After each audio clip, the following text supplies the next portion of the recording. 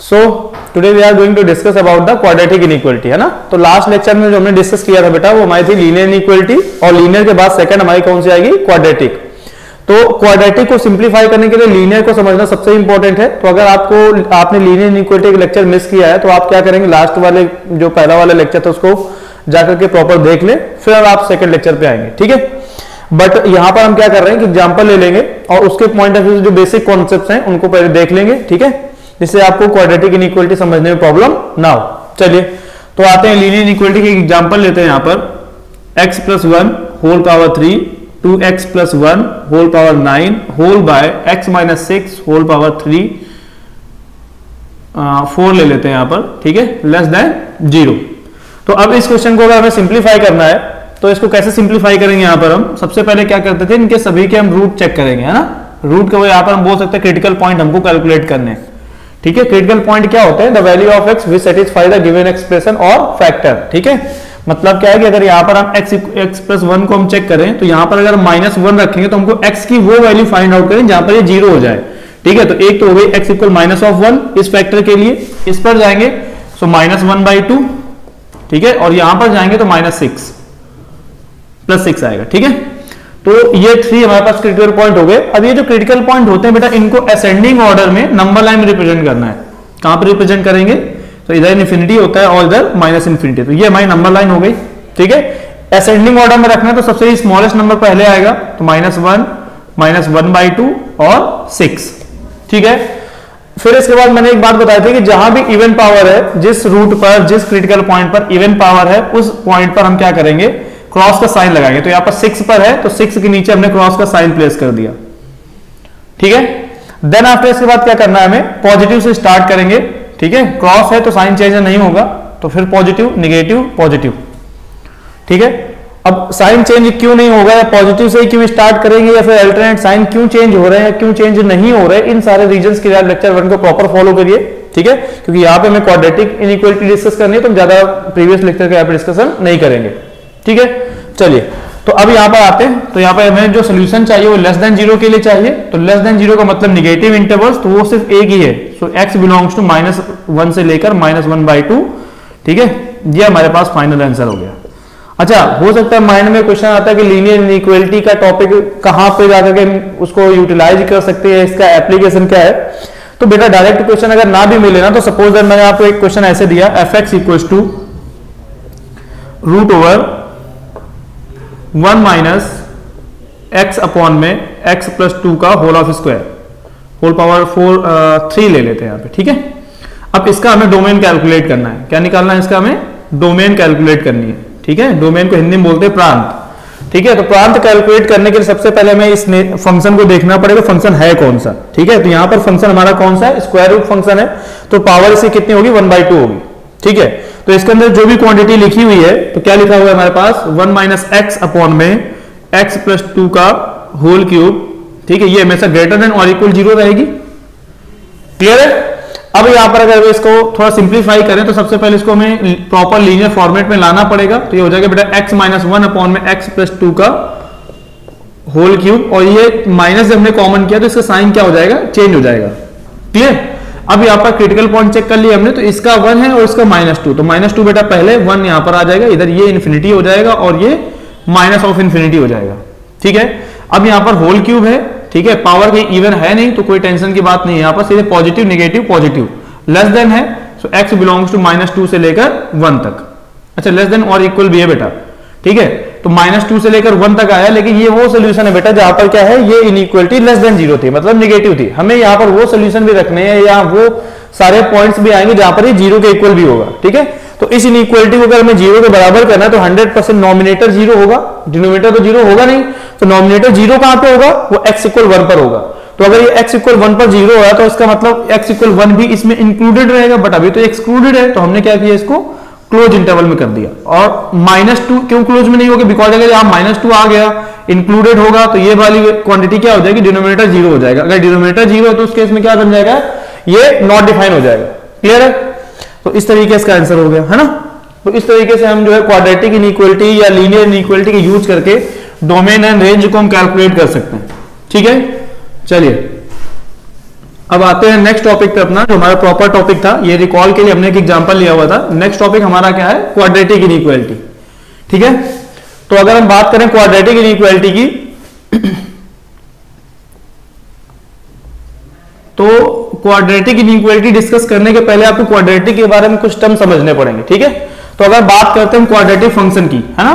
तो हमारे पास होता है f x equals to a x square plus b x plus c for all x belongs to real number and a does not equal to zero ठीक है?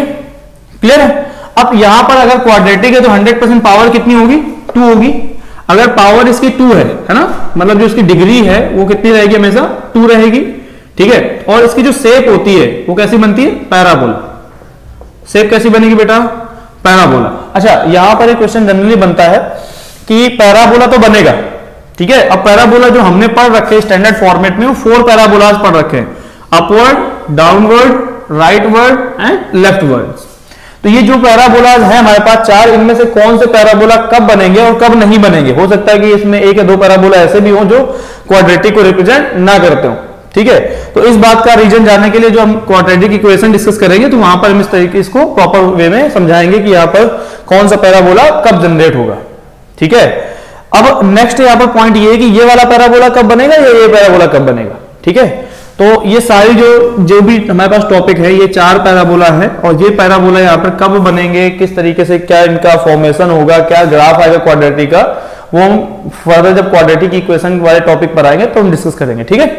चलिए, यहाँ पर जो मोस्ट इंपॉर्टेंट पॉइंट है कि अगर आपको कभी भी क्वाड्रेटिक इनइक्वलिटी में कोई भी क्वाड्रेटिक फ़ंक्शन दिखे ठीक है? Suppose that x square plus b x plus c type का कोई फ़ंक्शन आपको दिखा तो आपको करना क्या है? बेसिकली बस आप जो भी क्वाड्रेटिक जितने भी क्वाड्रेटिक है, सबका डिस्क्रिमिनेंट निकाल लो, सबका विविक्त कर निकाल लो। That is b square minus four a ठीक है? B square minus four a calculate करने के बाद फिर आपको क्या करना है? यहाँ पर चेक करो कि डी की वैल्यू क्या है? D greater than zero D less than zero और डी इक्वल ज़ीरो अगर किसी भी क्वाड्रेटिक का डी लेस देन ज़ीरो है तो आप क्या करोगे, उसको उस पूरी की पूरी क्वाड्रेटिक को क्वेश्चन से रिमूव कर देंगे। क्या करेंगे? जिस भी क्वाड्रेटिक का डिस्क्रिमिनेंट या विविक्त कर ज़ीरो से छोटा है तो उस वाली क्वाड्रेटिक को हम क्या करेंगे क्वेश्चन से रिमूव करेंगे। याद रहेगा? ठीक है, क्यों रिमूव करेंगे? रीजन है उसका। बिकॉज़ जब कभी भी हम डी निकालते हैं तो डी क्या डिसाइड करता है कि इसके जो रूट्स हैं ठीक है? वो कैसे हैं? कैसे मतलब? रियल है, ठीक है? अब रियल के में भी बहुत सारे पार्ट आते हैं। हो सकता है इक्वल हो, या डिस्टिंक्ट हो, या रेशनल हो, या इरेशनल हो, ठीक है? जिसको बोलते हैं परिमेय, अपरिमेय, वास्तविक, या भिन्न भिन्न। इस तरीके से यहाँ पर जो कमेंट करते हैं हम डी को लेकर के, वो कौन करता है? डी बराबर b square minus four a c root पर कमेंट करना है तो हमें डी कैलकुलेट करना है। क्लियर इसके बाद में, अब यहाँ पर अगर किसी भी क्वाड्रेटिक का डी लेस देन ज़ीरो है ठीक है? तो उसके रूट्स जो होंगे वो रियल नहीं होंगे मतलब वो इमेजिनरी रूट्स होंगे। अब जो इमेजिनरी रूट्स होते हैं, उसका ग्राफ या तो ऊपर से जाएगा तो नीचे से जाएगा पैराबोला ठीक है? मतलब वो कभी भी एक्स को कट नहीं करेगा। अगर एक्स के साथ पॉइंट ऑफ़ इंटरसेक्शन नहीं मिल रहा है so that we can say that कि यहाँ पर उसका कोई भी सोल्यूशन नहीं होगा। है ना? रूट का मतलब ही है सोल्यूशन अब सोल्यूशन होगा नहीं तो फिर इनइक्वालिटी में उसका काम क्या है? बिकॉज़ इनइक्वालिटी में हम सेट ऑफ़ सोल्यूशन लिखते हैं ना, जहाँ पर हमारा जो इनइक्वालिटी है, वो डिफाइंड रहे। क्लियर है? तो अब इस चीज़ को समझने के लिए तो हमने सीधे सीधे एक आपको पॉइंट समझा दिया कि जब कभी भी किसी भी क्वाड्रेटिक इक्वेशन का आपने डी कैलकुलेट किया और वो डी ज़ीरो से छोटा है, ठीक है तो आपको क्या करना है? उस क्वाड्रेटिक इक्वेशन को क्वेश्चन से रिमूव कर देना है। अब जिसका जिसका डी ज़ीरो या ज़ीरो से बड़ा है मे बी ज़ीरो के इक्वल हो या मे बी ज़ीरो से ग्रेटर है तो जिनका जिनका भी डी ग्रेटर देन ज़ीरो या इक्वल ज़ीरो है, ठीक है तो आपको क्या करना है? उन सभी को फैक्टराइज कर लेना है। क्या करना है? फैक्टराइज भाई इक्वल ज़ीरो तो हंड्रेड परसेंट वो सीधे सीधे परफेक्ट स्क्वायर बन जाएगा। और अगर नहीं है डी ग्रेटर देन ज़ीरो है तो उसको हम क्या करेंगे? फैक्टराइज कर लेंगे स्प्लिटिंग मेथड का यूज़ करके या श्री धराचार्य का यूज़ करके। ठीक है? तो ये हमारा प्रोसेस है क्वाड्रेटिक इनइक्वालिटी में जो समझ, समझना था हमें पहले स्टार्ट क्वेश्चन पे आने के पहले जो भी क्वाड्रेटिक गिवन होंगी आपको उनका डी कैलकुलेट करना है और डी कैलकुलेट करने के बाद में आप अगर किसी भी क्वाड्रेटिक का डी लेस देन ज़ीरो पाते हो तो आप उस उस क्वाड्रेटिक को एज इट इज़ वहाँ से रिमूव कर देंगे। ठीक है? क्या करेंगे? उस क्वाड्रेटिक को एज इट इज़ वहाँ से रिमूव कर देंगे। ठीक है? चलिए तो अब आते हैं क्वेश्चंस पे। क्वेश्चन नंबर फ़र्स्ट लेते हैं यहाँ पर।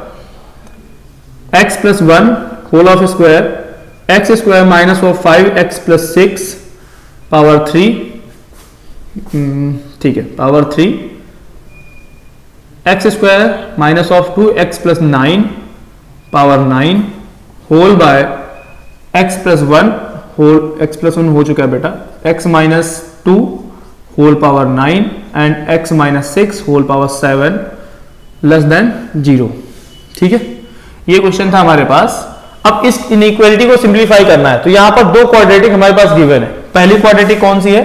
X square minus of five x plus six and second quadratic is that x square minus of two times of x plus nine इस क्वाड्रेटिक का बेटा डी निकालोगे तो b square twenty five minus four a c so twenty four ठीक है? That is one अब अगर इस क्वाड्रेटिक हम डी निकालेंगे तो बी स्क्वायर तो बेटा b square mean four minus four a c तो फोर नाइन थर्टी सिक्स है ना?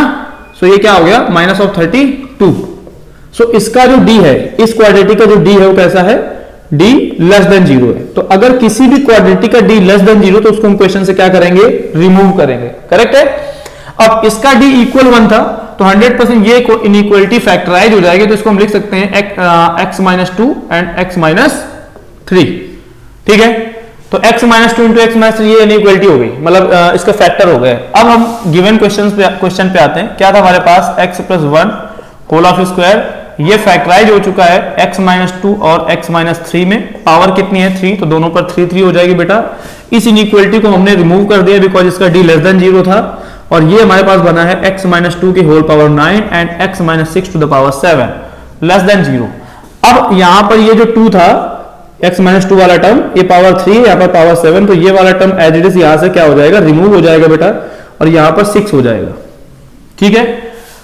ओके अब ये जो हमारे पास क्वेश्चन आपको दिख रहा होगा, ठीक है? ये प्रॉपर फिर से कन्वर्ट हो चुका है किसमें? लीनियर इक्वलिटी वाले पार्ट में। ठीक है? तो अगर अब इसको हमें सिंप्लीफाई करना तो हमें सबसे पहले इनके क्रिटिकल पॉइंट कैलकुलेट करने पड़ेंगे। ठीक है? वही पुराना वाला प्रोसेस तो इन्फिनिटी है यहाँ पर इधर और इधर माइनस इन्फिनिटी ठीक है? चलो क्रिटिकल पॉइंट चेक करते हैं बेटा। तो इसका माइनस वन इसका सिक्स इसका थ्री इसका टू तो सबसे पहले माइनस वन फिर टू फिर थ्री एंड फिर सिक्स इवन पावर कहाँ कहाँ पे है? तो माइनस वन पर और टू पर। तो माइनस वन के नीचे क्रॉस का साइन एंड टू के नीचे क्रॉस का साइन ठीक है? इसके बाद में पॉजिटिव निगेटिव पॉजिटिव फिर पॉजिटिव और फिर पॉजिटिव। ठीक है? नाउ इसका जो सोल्यूशन हो जाएगा, क्योंकि हमें लेस देन का सोल्यूशन चाहिए था तो बेटा एक्स जो बिलोंग करेगा, वो थ्री से लेकर सिक्स के बीच में बिलोंग करेगा। है ना? और ये आपका आंसर हो गया। ठीक है? तो ये हमारा प्रोसेस था। एक बार रिपीट कर रहा हूँ। जब कभी भी आपको क्वाड्रेटिक इनइक्वलिटी सिंप्लीफाई करनी हो तो आप क्या करेंगे सबसे पहले? सबसे पहले आपको क्या करना है? जितनी भी क्वाड्रेटिक है, सबका डिस्क्रिमिनेंट कैलकुलेट कर लो, विविक्त कर कैलकुलेट कर लो D equal b square minus four ac ये निकालने के बाद में जिसका जिसका डी लेस देन ज़ीरो है, बेटा उसको रिमूव करेंगे क्वेश्चन से, जो बचेगा, ठीक है, उनको हम फैक्टराइज करके लीनियर इनइक्वलिटी के प्रोसेस से हम क्या करेंगे, आगे सिंप्लीफाई कर लेंगे, ठीक है? अब कुछ क्वेश्चन है जो आपको होमवर्क के लिए है, ठीक है? जो आपको प्रैक्टिस करके आने हैं। नंबर फ़र्स्ट है हमारे पास, यहाँ पे लिख देता हूँ रफ करके, है ना?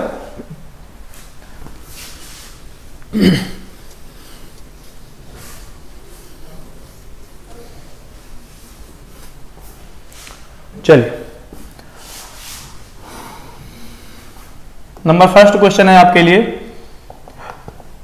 X plus two whole power three x square minus of four x plus four whole power nine x square minus of three x plus eleven whole power twelve whole by x plus six whole power three greater than zero ठीक है? Second question है same आपके पास। X minus one x square minus of nine x plus three यहाँ पर power लग जाएगी आपकी to यहाँ पर ले लेते हैं five whole by x square minus of x plus seven whole power six and x minus six whole power three less than zero equal zero ठीक है? तो ये दो क्वेश्चन है आपके लिए, ठीक है? जो आपको करने हैं। ठीक है, जिसको भी आंसर आ जाता है प्रॉपर तरीके से, ठीक है, वो क्या करेगा कमेंट बॉक्स में उसको आंसर दे देगा, ठीक है? चलिए, जिसका भी करेक्ट आंसर आएगा, उसका नाम जो है लास्ट में हम नेक्स्ट लेक्चर पर डिस्कस करेंगे ओके थैंक यू